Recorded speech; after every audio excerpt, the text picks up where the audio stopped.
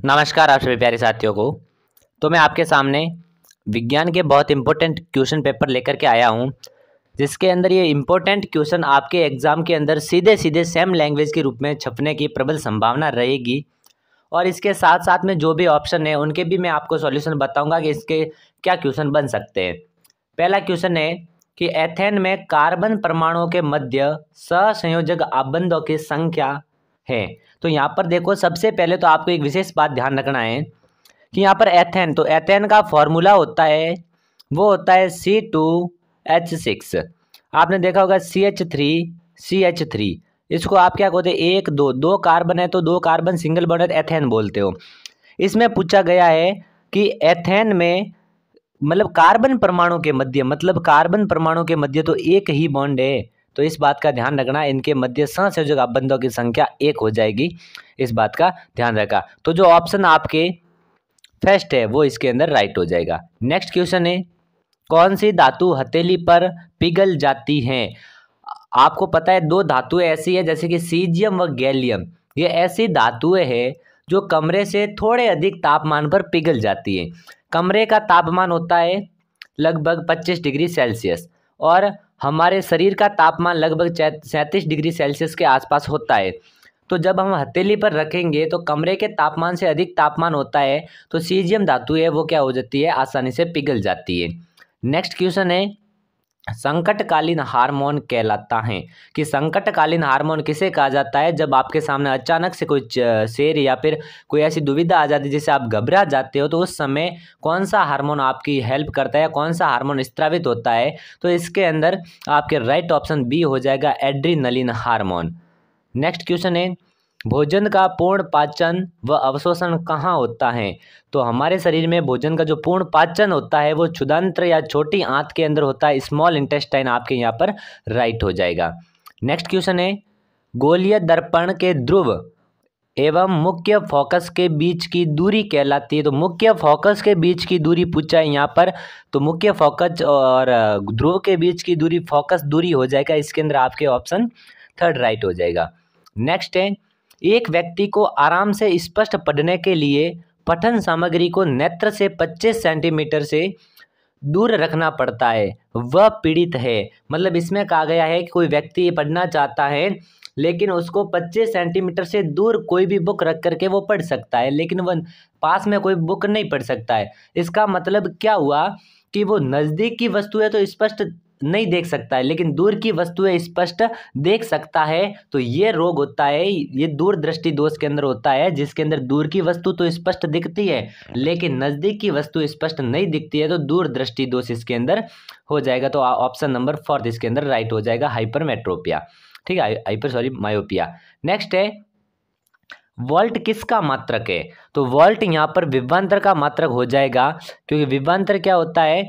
कि एक बिंदु से दूसरे बिंदु तक एकांक आवेश को ले जाने में किया गया कार्य क्या कहलाता है? विभ्वांतर कहलाता है, जिसका मात्रक वोल्ट होता है। नेक्स्ट है, नीचे दिया गया चित्र पारितंत्र के विभिन्न पोषी स्तरों को दर्शाता है। चित्र में कौन सा पोषी स्तर उत्पादकों को प्रदर्शित करता है? इसके अंदर आपको बताना कि उत्पादकों को कौन प्रदर्शित करता है? तो इसके अंदर जो स्तर फ़र्स्ट है, वो उत्पादकों को प्रदर्शित करेगा। नेक्स्ट है कोई विलियन नीले लिटमस को लाल करता है, इस विलियन की प्रकृति क्या होगी? अब आपको पता है कि नीले को लाल में अम्ल करता है, क्षारक करता है, सबसे पहले तो वो पता लगाओ। इसका पता लगाने की छोटी सी ट्रिक है, आपको याद रखना अनिल। अनिल में क्या है कि अ से हो गया अम्ल, ये करता है नीले को लाल। तो इसमें पूछा है, नीले लिटमस को लाल करता है, कौन सा विलन की प्रकृति हो जाएगी तो अम्लीय हो जाएगी इस बात का ध्यान रखें आप।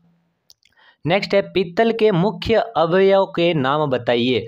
मतलब पीतल के किन, ये पीतल जो मिश्र धातु होती है, वो किन से मिलके बना होता है? तो इसमें भी आपको एक ट्रिक याद रखनी है कि याद रखना आपको पिताजी।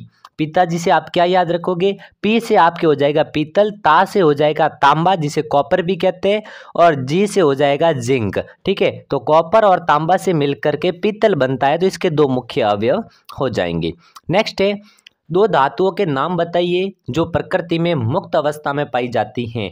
तो प्रकृति में मुक्त या स्वतंत्र अवस्था में पाई जाने वाली धातुओं के नाम बोले तो आपको सोना और चांदी बताना है। ठीक है नेक्स्ट है हमारे शरीर की सबसे बड़ी अंत स्त्रावी ग्रंथि का नाम लिखिए तो हमारे शरीर की सबसे बड़ी अंत स्त्रावी ग्रंथि हो जाएगी।